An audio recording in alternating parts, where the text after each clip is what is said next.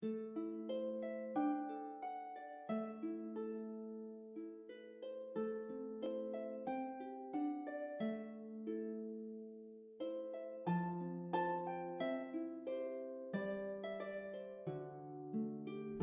principio de los tiempos, el valle de Lambayeque había crecido como un inmenso jardín fértil.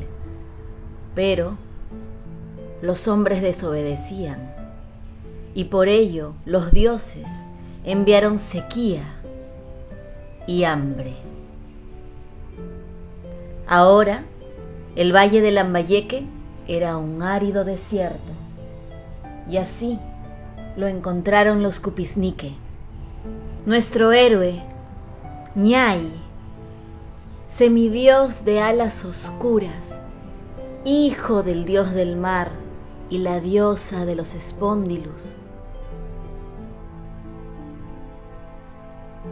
Habló con su madre, la diosa de los espóndilus, y le contó lo triste que era ser testigo de la desgracia de los Lambayeque su madre le indicó el camino al Cerro de la Raya para poder encontrarse así con el dios de las esferas y buscar una solución para la tristeza de los Lambayeque. Salió volando y voló mucho tiempo hasta que por fin dio con el dios de las esferas. El dios de las esferas, deidad que puede estar tanto en el presente como en el pasado y en el futuro, en el mismo instante. Ñay se inclinó ante su presencia y habló con el lenguaje de los dioses. Luego pidió las respuestas que estaba buscando para acabar con el sufrimiento de los Lambayeque, acabar con el castigo de la sequía. El dios de las esferas aceptó a condición de que le venciera en el juego de los payares. Ñay sabía que ante la sabiduría del dios jamás podría ser victorioso, pero no tenía a quién más acudir. Tampoco estaba dispuesto a darse por vencido. Pero a pesar que Ñay estaba alineado con el sol, fue derrotado en el juego de los payares.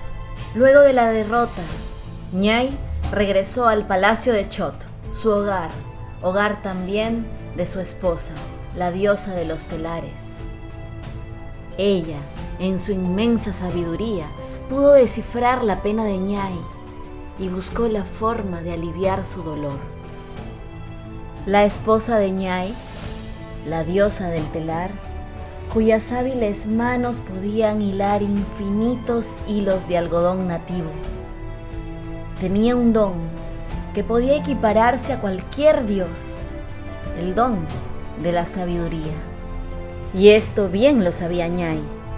Por esa razón, se dejó llevar por su esposa hacia la Vía Láctea. Ñay pudo conocer los patrones en los que estaban dispuestas las estrellas, un enorme tablero del juego de los payares. Y así Ñay pudo saber cuál era el movimiento de las estrellas el corazón de Ñay se encendió en una alegría luminosa. Bajó a las tierras de Túcume y pidió la revancha al dios de las esferas. El dios de las esferas nunca supo en qué momento sus estrategias brillantes se vieron opacadas bajo los movimientos precisos de Ñay. Al salir la luna con su vestido plateado, Ñay ya era el vencedor. Pero la historia no se acaba aquí pues había un Dios que no permitiría que se termine el castigo para los Lambayeque, el Dios Icán, todopoderoso, Dios creador, harto de las desobediencias de los hombres, los había castigado a más de un siglo en sequía y hambre. Él no iba a cambiar de decisión y no iba a librar a las personas de su castigo.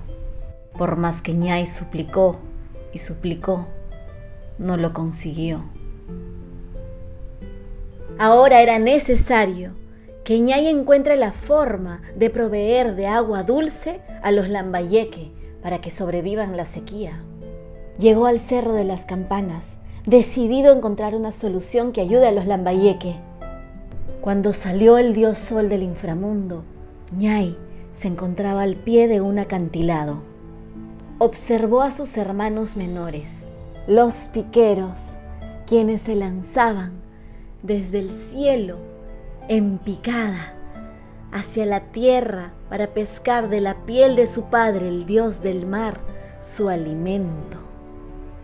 Al ver a los piqueros, Ñay comprendió lo que tenía que hacer y juntó toda la fuerza de sus alas y toda la fuerza de su vuelo para poder arrastrar una gran ola marina y acercarla a las orillas.